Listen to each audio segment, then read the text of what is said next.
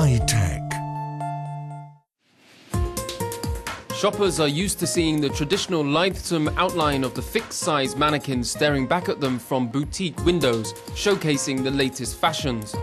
But a Hong Kong research team has created a figure capable of shifting length, curve, and dimension depending on a customer's shape.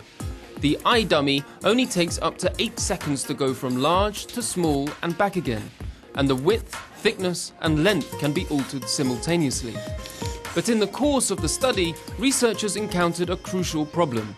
How could they establish a way of measuring the growth from one size to another accurately and in proportion? Uh, for example, okay, when one person uh, gets bigger, the all the girth measurement and so on will, will not be the same in the same proportion. So we have to calculate, we have to study different uh, people.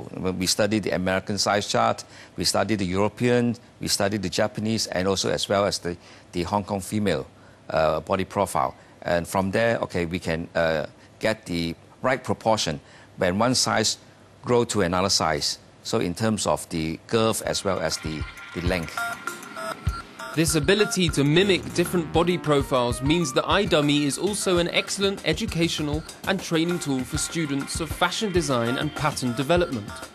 But perhaps most important of all, the iDummy can be easily controlled via a user-friendly computer interface, so potential clients can input their measurements online.